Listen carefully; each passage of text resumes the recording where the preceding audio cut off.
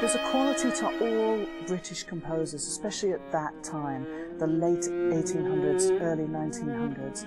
This is a, a time when um, composers in Britain really started to come to the fore.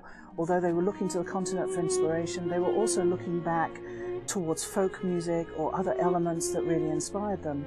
And for a lot of English composers, that's the landscape, that's the very culture of, of things that we experience when we're British. And many of these composers are really drawing from what's around them. And what's around them is an incredible landscape.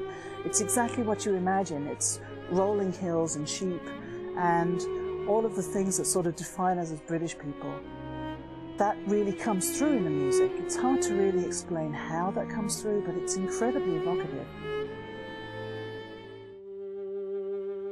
Well, the Herbert Howells is a beautiful work. Um, it was originally written for one of his friends who passed away in the First World War.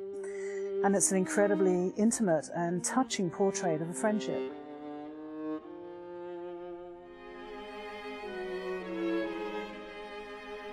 There's a moment when the string quartet take over and it sounds as though he's screaming and asking why, why this happened.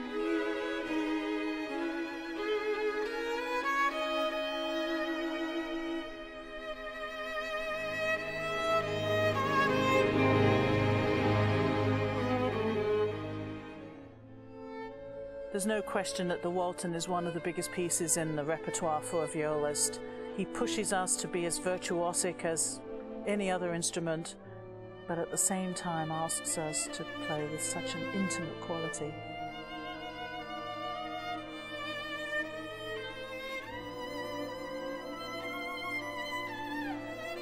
There are moments that are explosive, almost Hollywood-esque, big tutti moments where you're almost knocked off your seat.